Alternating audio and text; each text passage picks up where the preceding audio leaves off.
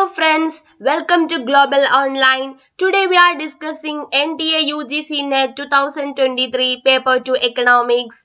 In this wonderful session, we deal with Phillips curve analysis from macroeconomics and this topic we deal with PYQs. So the previous year questions will give you an idea about the questions and also the way of delivering the answers. Okay, and without wasting our time, we go, go to our first question.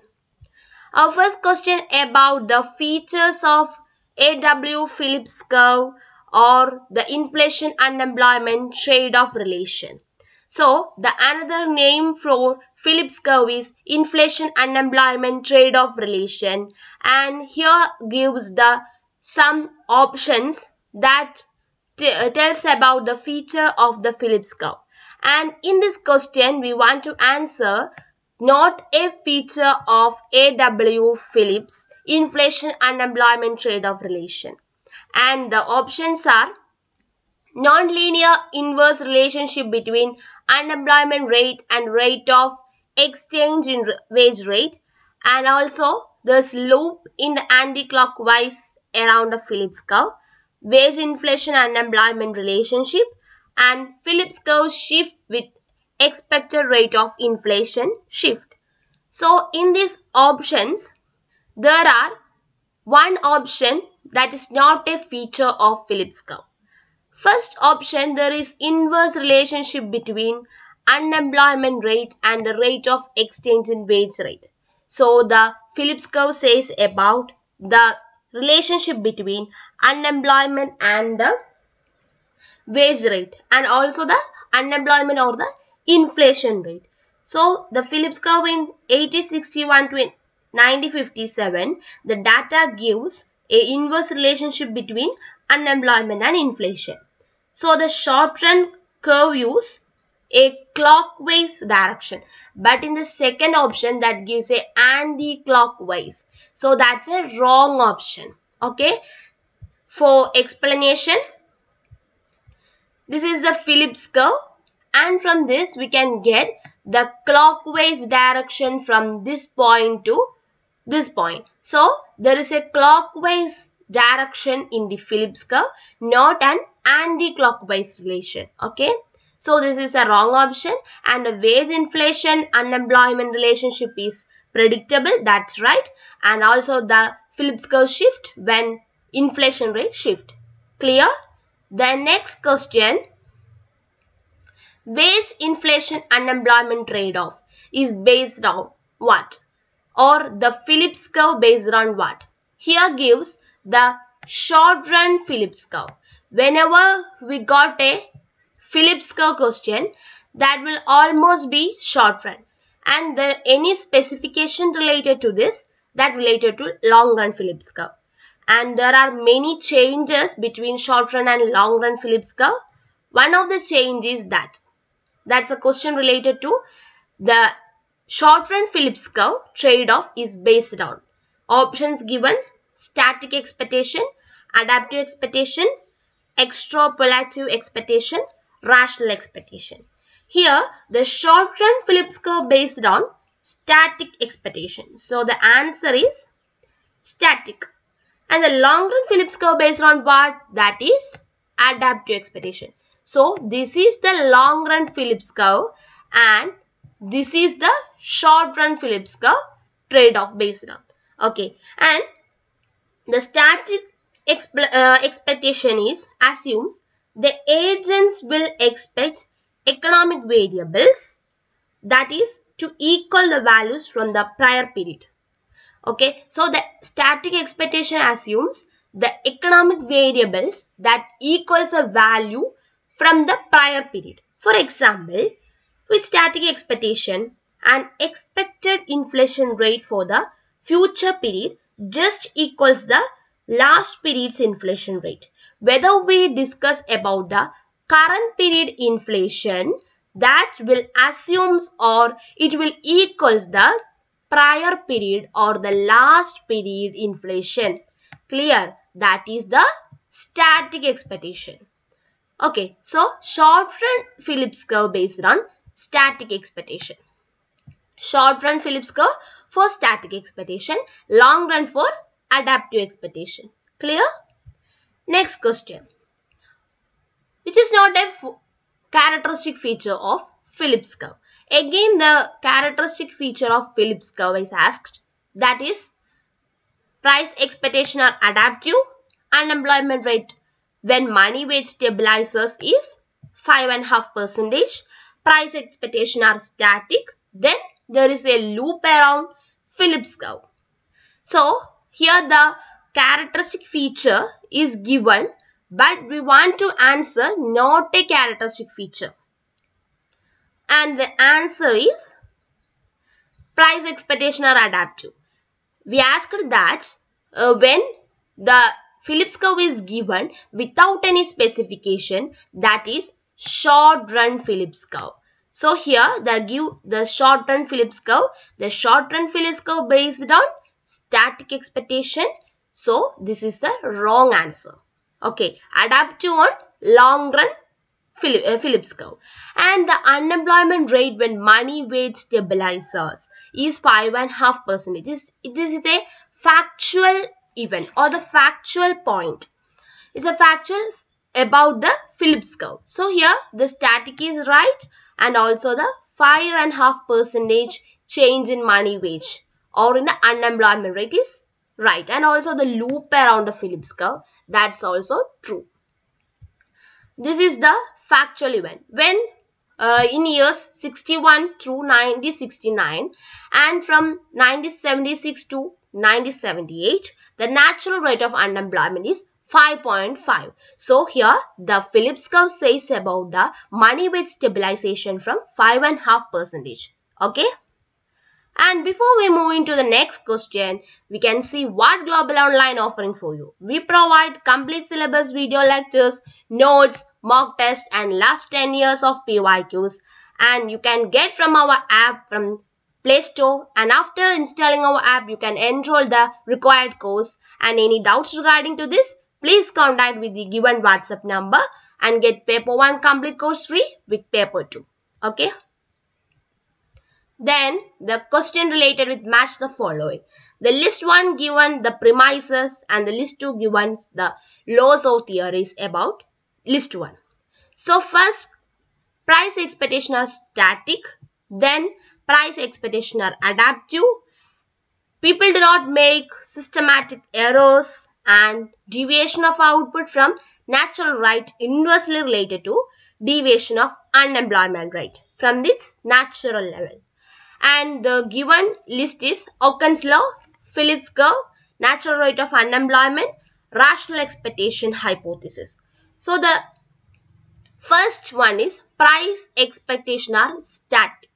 We know when the price expectation are static that is short run Phillips curve and the adaptive means the long run Phillips curve. So we can first of all see the answer that is 2341.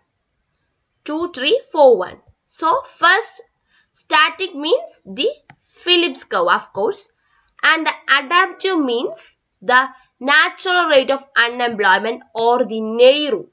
You can get that is the NAIRU from what the long run Phillips curve. So the adaptive expectation of price is about what long run Phillips curve or the NAIRU. And then the systematic errors. Systematic errors about the rational expectation. Okay, rational expectation. And the deviation of output from natural rate that is inversely related to the unemployment that also deviate from the natural level that is Okun's law. So 2341 is the right one. And the explanation about Okun's law. Okun's law says about the percentage change in output that associate with the changes in the output gap and over time. So here the potential output has also been studied in relation with Okun's law. What is the potential output? Potential output is the output that we want to produce and also in Okun's law, the percentage change of output related with the output gap. And the output gap says about the relationship, an empirically observed relationship between unemployment and losses in a country's production. So we want to get the Okun's law named after Arthur Melvin Okun who proposed the relationship in 1961. So from 1961 onwards the theory of Okun's law is given or we.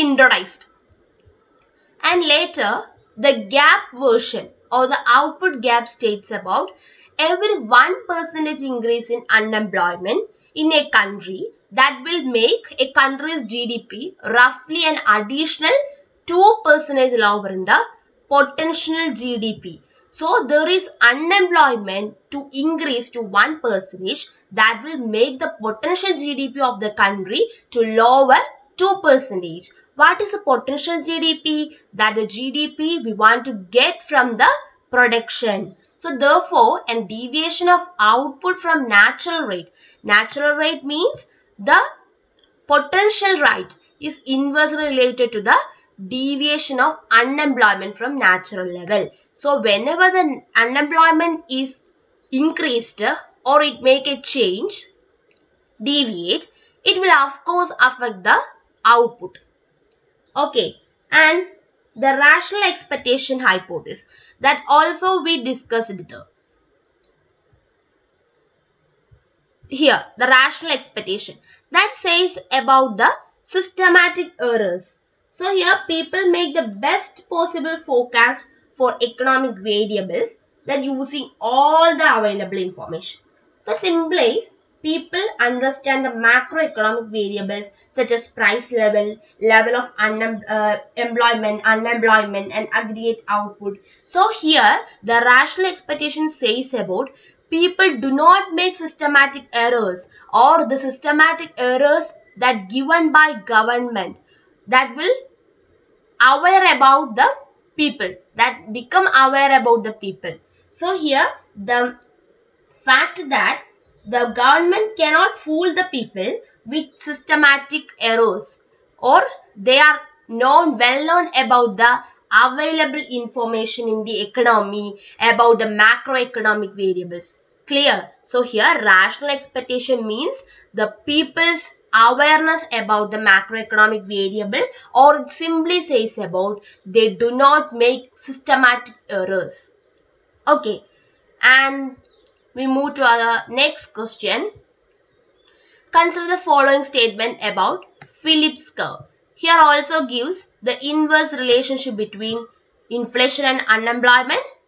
Economic behavior is a function of nominal returns and economic behavior is a function of real returns. So here gives all the above are true, only 1 and 2 are true, only 2 is true, only 3 is true. And one of the fact that we can know the trade-off between inflation and rate of unemployment is called Phillips curve. But in the second part of the question says about of these statements which are true from the monetarist point of view. So we want to answer from the monetarist point of view or the monetarist perspective. Here the monetarist perspective says about the long run Phillips curve, not the short run. So, the long run Phillips curve want to get or the Phillips curve in the point of view of monetarist is long run. Okay, from short run this statement is correct. But the long run, the inflation unemployment trade-off is wrong. So, this the statement is wrong here. And again, the there are many, uh, mainly three perspective about the short run and long run differentiation or the difference between these two is mainly three. First of all, in short run, economic behavior is nominal. So here from short run, short run and this is the long run. And in short run Phillips curve, this is nominal. Here nominal returns is taken and again here that's taken real returns. So here the real returns will taken but here short run is nominal. Nominal means the current or uh, sorry the previous year period. We only stick on the previous year period or the period that we taken uh, before or the uh, period in the first case. That's also continuously we taken in all years. In case of uh, population census, we take 2011 as the period. And in again in 2022 and also in 2023, we take the data of 2011. But in case of long run Phillips curve, that is real or with respect to the current period. Okay. And again the next difference, in short run, we take the perspective of demand or we only says about the demand perspective. But in long run, we take the supply side. Okay, supply side. So this is another difference. And again, here long run because of the monetarist point of view. Okay, but the first case, inflation and unemployment is wrong. Also, the nominal return is wrong. And the other is real. This is correct. So, only the 3 is true. Get it? That is, inflation and unemployment trade-off is works in case of short run. But in case of long run, it is not the trade-off between inflation and unemployment. And also the nominal returns is works in short run. Here long run that is real. And also in case of real returns, the long run works. Okay. So according to the monetarist point of view, the Phillips curve in long run is real returns or the economic behavior is a function of real returns. Clear? Next question. Correct concept of natural rate of unemployment. Here the natural rate of unemployment means what or the correct statement about natural rate. Here gives frictional structurally unemployed or the mix of frictional unemployment and structural unemployment and frictional and cyclical frictional uh, frictional and cyclical mix and third structurally and cyclically. And last frictional cyclical structurally. So what about the natural rate of unemployment says? And the answer is frictional and structural. So the mix of frictional and structural unemployment is called natural rate of unemployment. And what is the frictional and structural unemployment? Oh, frictional um, unemployment means the unemployment that happen in the economy from transition from one job to another job. Or the people dynamically changing their job here that causes frictional unemployment or it's also called turnover unemployment or search unemployment. Okay, then structural unemployment. It means the supplied labor is not matched with the demanded labor or that's a mismatch between supply and demand of labor then the employers will will not get any employers or the mismatch between the both demand and supply of labors will cause structural unemployment okay so the structural and structural unemployment together form or together in an economy that will make a natural rate of unemployment. Get it? And this question is for you. The Phillips curve sets up a relation between what? Or the Phillips curve is a relation between taxation and inflation, inflation and unemployment, money supply and aggregate demand, or price and cost of production. So what, what's the answer? The Phillips curve sets up a relation between what?